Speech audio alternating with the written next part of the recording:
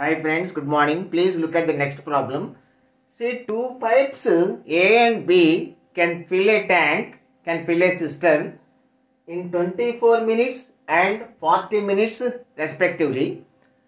And a waste pipe C and a waste pipe C can drain off 35 gallons per minute.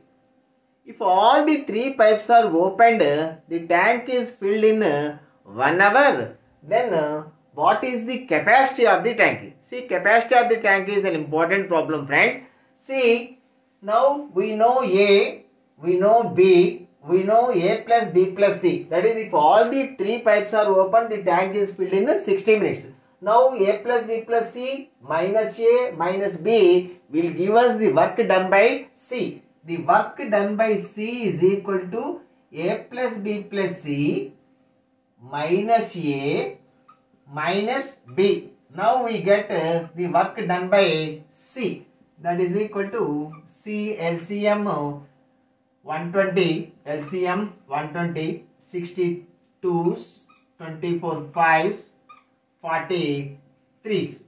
C is equal to minus 6 by 120 minus 6 by 120 that is equal to 1 by 20 of course you can ignore uh, minus because this is an emptying pipe that is we are getting sign minus so the the work done by c is equal to 1 by 20 so c can uh, c can empty the full tub c can empty a full tub c can empty a full tub uh, in uh, 20 minutes c can empty a full tub in 20 minutes now this sea pipe can drain off 35 gallons per minute. 35 gallons per minute means uh, in 20 minutes uh, it can drain off um, 20 into 35, that is equal to 700 uh, gallons, friends.